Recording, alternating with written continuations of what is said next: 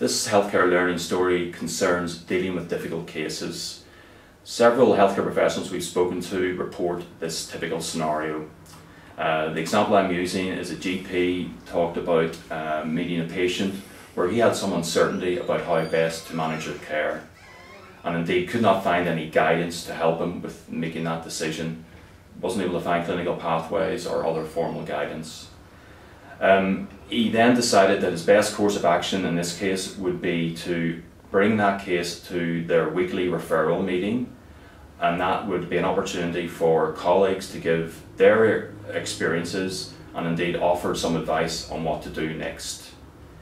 Um, it highlights one, two, sorry, several things that the referral meetings have become a forum for dealing with challenging and uh, difficult cases, which are typically non-urgent. So there is that time dependency, and indeed the I guess older cases would not be brought to this forum. Um, it also highlights seeking and support, seeking support and advice from trusted colleagues in their preferred face-to-face context.